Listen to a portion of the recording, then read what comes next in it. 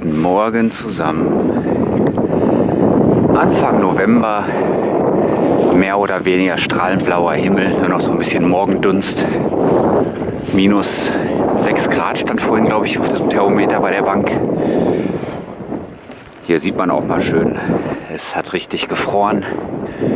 Es ist eine herrliche Luft, auch wenn es durchaus kalt ist. Aber wie ich ja immer sage, wenn so ein Wetter ist, da hält mich eigentlich nichts drin. Jetzt heute Morgen musste ich mir selber wieder so ein bisschen Hintern treten, weil es doch äh, ja, beim ersten Durchlüften in der Wohnung recht frisch reinkam. Und wenn man gerade so aus dem Bett kommt, wisst ihr selber, wie das ist. Da braucht man erst so die ein, zwei Kaffee, ein bisschen Überwindung und dann geht es aber auch los. Und wie man sieht, das lohnt sich immer wieder. Ja, was ist mein Ziel heute? Ich habe kein Ziel. Ich bin ja immer so ein bisschen bummelig unterwegs und auch das werde ich heute machen. Einfach hier wieder so ein bisschen Überland, wo ich das ein oder andere erzählen. Jetzt gerade ist mir definitiv schon zu warm. Ich habe die Daunenjacke angezogen und habe das Gefühl, ich ja, zerschmelze da drin. Ich bin ja nicht ganz so kälteempfindlich. Das geht auch noch ohne Handschuh, wenn es leicht unter Null ist hier beim Fahrradfahren. Aber da ich in letzter Zeit so oft was mit dem Rücken hatte, dachte ich mir, ziehe ich mal ein bisschen wärmer an.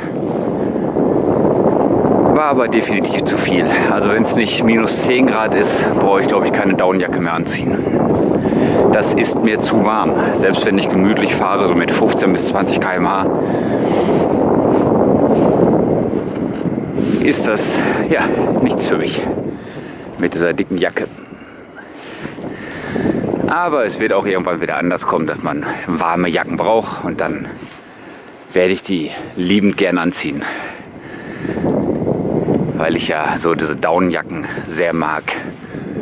Ich habe ja von VD so eine Jacke mit einer Innenjacke, die man rausnehmen kann, die auch über vier Stunden locker den Regen abhält. Was keine Daunenjacke ist, sondern hat so einen Fließeinsatz. Das ist so meine Allzweckjacke, die man eigentlich immer anziehen kann, Sommer wie Winter. Und dann eine dünne Daunenjacke, langärmlich, die so ein, wie nennt sich das denn? Die man halt so ein ganz kleines Packmaß nur hat die ich immer so in den Tagesrucksack stecken kann auf Wanderungen. Und dann noch eine richtig gute Daunenweste, ja, für so zwischendurch. Also im Grunde für jede Temperatur und Jahreszeit ein Daunenteilchen, wen es interessiert. Und wen nicht, der hat jetzt wahrscheinlich eh schon abgeschalten. Ja, ich würde sagen, lasst euch überraschen, was da kommt. Ich weiß es selber nicht. Hier kommt jetzt die erste Ortsdurchfahrt gleich in Weckinghausen mit schön alten Bauernhöfen, die auch zum Großteil noch so traditionell genutzt werden. Bei einem weiß ich, ist kein landwirtschaftlicher Betrieb mehr drin. Da hat der Martin, mit dem war ich früher zusammen in der Schule, eine Firma eröffnet für Solaranlagen und damit ist er auch schon seit ja, mehr als einem Jahrzehnt erfolgreich, glaube ich.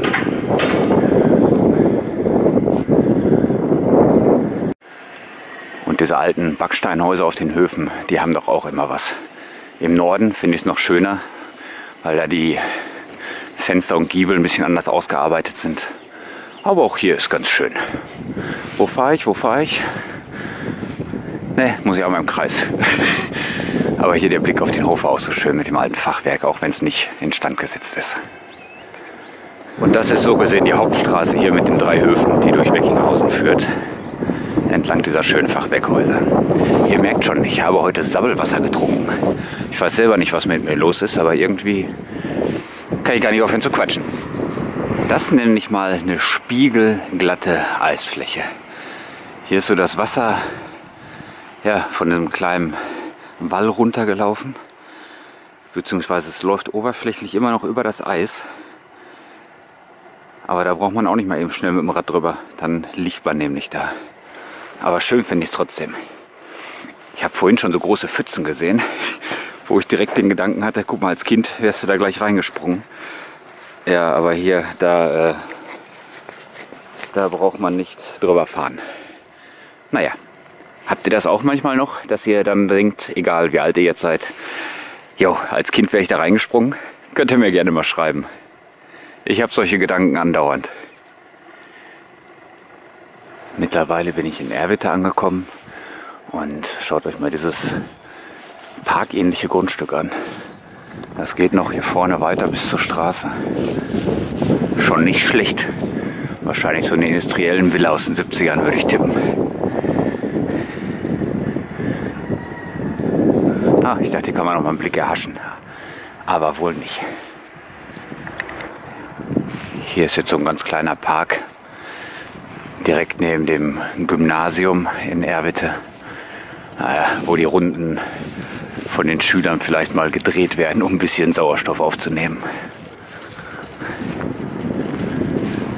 Nochmal zum Thema alte schöne Häuser. Das ist jetzt nicht mehr so schön, aber so sahen halt die Kornhäuser früher aus. Umso schöner, wenige Meter weiter, hier diese Kirche in diesem schönen Sandstein. Mit dem Licht ist das doch wohl mal ein klasse Bild hier. Auch der Glockenturm, der von vorne offen ist. Ihr habt es anhand des Zuckens in der Kamera gesehen. Ich bin doch recht schreckhaft, wenn ich konzentriert bin auf das, was ich gerade filme. Mann, Mann, Mann. Naja, er war zumindest hinterm Zaun.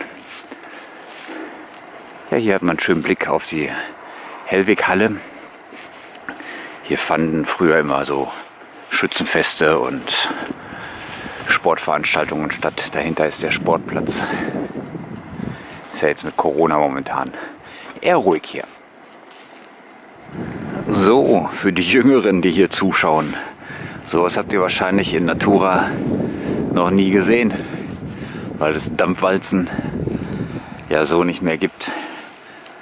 Aber im Grunde ist das das Gleiche, was heute in modern, in schwarz-gelb eure Teerflächen für die Straßen glatt walzt. Bloß halt nochmal in schöner, würde ich sagen.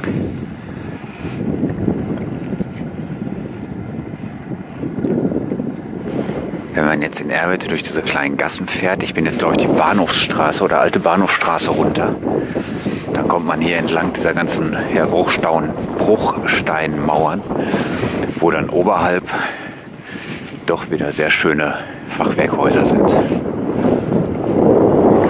Bin ich gerade hier um die Ecke gekommen und dachte, was ein Ausblick, schön hier auf die Kirche. Ja, du hast Vorfahrt, Meister. Muss auch fahren. Naja, auf jeden Fall strahlt die Kirche mit ihren goldenen Zifferblättern da so richtig schön.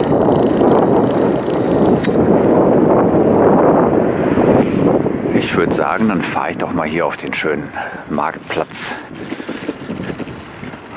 Das fängt an hier mit Hotel, Restaurant Büker in so einem schönen alten Gebäude. Ja gut, das eine oder andere ist natürlich nicht so gut erhalten. Aber ansonsten würde ich sagen, muss sich der Marktplatz hier definitiv nicht verstecken.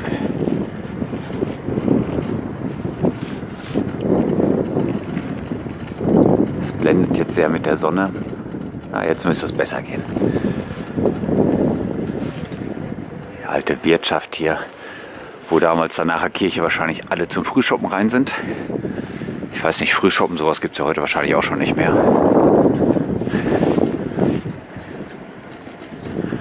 Und jetzt drehe ich mal eine Runde um die Kirche.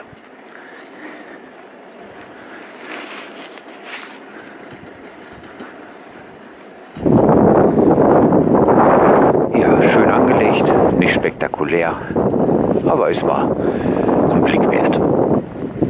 Direkt unterhalb der Kirche ist hier so ein schöner kleiner Bachlauf mit dem typisch zementfarbenen Wasser, würde ich mal sagen. Die Zementindustrie ist ja hier sehr stark in der Region. Ist natürlich auch ein bisschen von dem Sandstein beeinflusst, das Wasser, also nicht nur Zement. Ne? Nicht falsch verstehen. Will ja nicht schlechter reden, als es ist. Oh, das sieht aber noch alles sehr neu aus hier. Das kenne ich so gar nicht. War auch schon lange nicht mehr hier. Ich befinde mich jetzt hier am Krankenhaus in Erwitte und direkt daneben hat man einen schönen Blick auf das Schloss in Erwitte hier. Da fahre ich jetzt gleich natürlich noch mal rüber und schaue mir das genauer an. Habe ich, glaube ich, auch in irgendeinem Video schon mal gezeigt. Aber ich sage ja, man kann nicht immer alles neu entdecken. Nur neue Ecken und Eindrücke sammeln.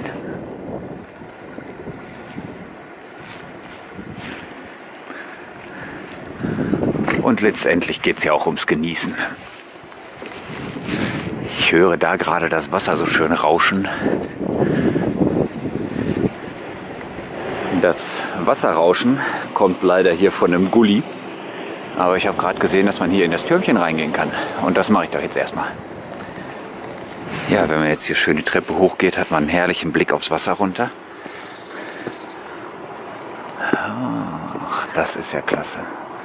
Ach, hier oben ist leider abgesperrt, so wie es aussieht. Ich schaue gleich mal eben richtig. Aber man hat ja einen herrlichen Blick Richtung Kirche und Wasser hier. Hat schon was.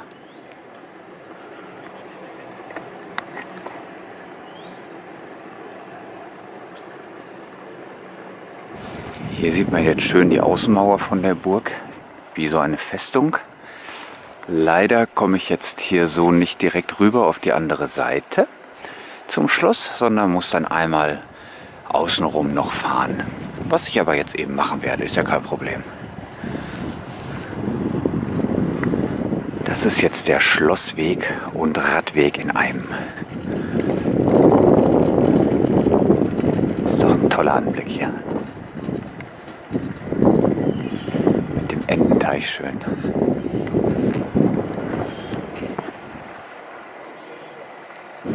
Und hier so ein kleines Türchen, wo es jetzt reingeht, wenn mein Lenker da ah, durchpasst. Ja, passt. Muss ja immer aufpassen hier mit den Hörnern, dass man nicht doch mal hängen bleibt.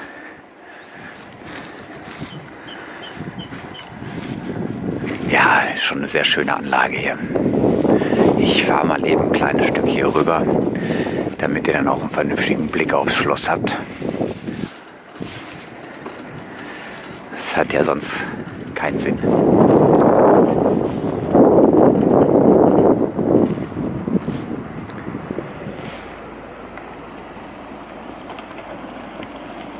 Wunderschön.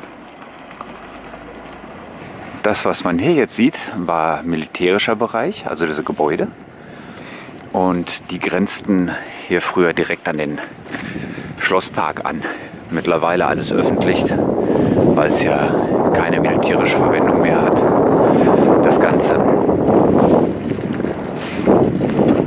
Und ja, mittlerweile ja so zum Flanieren alles einlädt.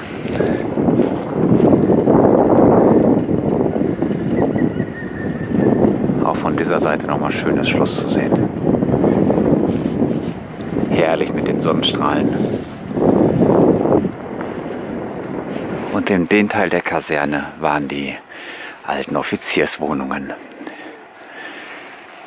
Von 1937 waren die, glaube ich. Da hat sich die letzten Jahre nicht ganz viel geändert, wie ich gerade feststelle.